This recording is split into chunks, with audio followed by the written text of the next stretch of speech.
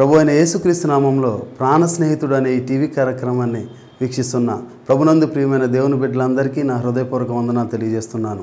రెవరెన్ దేవరాజు నెమ్మాది గారి కాలం నుంచి జారువారిన నేటి సమాజంలో మేటి క్రైస్తవుడు అనే అద్భుతమైన ఆధ్యాత్మిక పుస్తకాన్ని మీకు పరిచయం చేయడానికి దేవుడు నాకు ఇచ్చిన ఈ అవకాశమును బట్టి సంతోషిస్తున్నాను. ప్రస్తుత క్రైస్తవ సంఘ సాంప్రదాయాల్లో క్రైస్తవులు మరియు క్రైస్తవేత్తర కుటుంబం నుంచి వచ్చిన నూతన క్రైస్తవుల యొక్క మనోభావాలు దెబ్బతినకుండా దైవవాక్ విలువలు ఏమాత్రం తగ్గిపోకుండా లేఖనాలను చక్కగా ఆకలింపు చేసుకునే విధంగా ఈ పుస్తకం రూపొందించబడింది. ఇందులో ఆధ్యాత్మిక సమస్యలు సాంఘికపరమైనటువంటి ప్రశ్నలు అలాగే సాంప్రదాయమైనటువంటి సమస్యలు ఎన్నో వాటి గురించినటువంటి వివరాలను దైవదాసులు చక్కగా వివరించారు.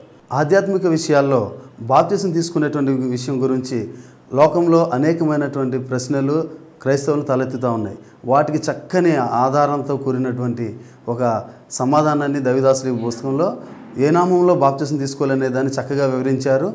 అదేవిధంగా ప్రభురాత్రి భోజనం సంగీతం ఆరాధన అనే విషయాలు ఎలా దేవునికి మెచ్చే రీతిలో చేయాలో విషయాలు కూడా చక్కగా ఈ ఈ పుస్తకంలో వివరించబడ్డాయి. తరువాత సాంప్రదాయాల విషయాలకు వస్తే తాళి కట్టాలా వద్దా? అలాగే బొట్టు పెట్టుకోవాలా వద్దా? వాస్తుని నమ్మాలా వద్దా?